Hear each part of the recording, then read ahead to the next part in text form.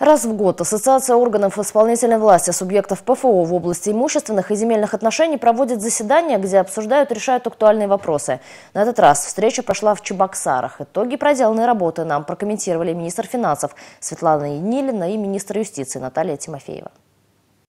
Много вопросов а, а, обсуждали, обсуждали касательно а, кадастровой оценки, потому что сегодня это волнует не только органы властей, это волнует сегодня граждан, наших населения, потому что касается каждого человека. Поэтому корректное его проведение, качественное проведение данной работы, действительно, это необходимость в этом есть.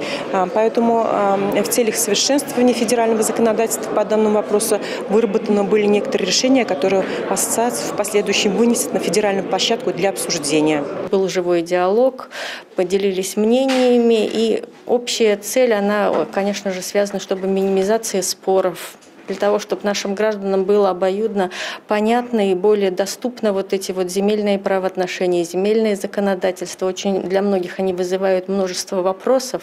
Наша все-таки цель в том числе и разъяснительная. В первую очередь, главное понять все для себя и уже для того, чтобы для наших пользователей, для наших обывателей это было более понятно и доступно.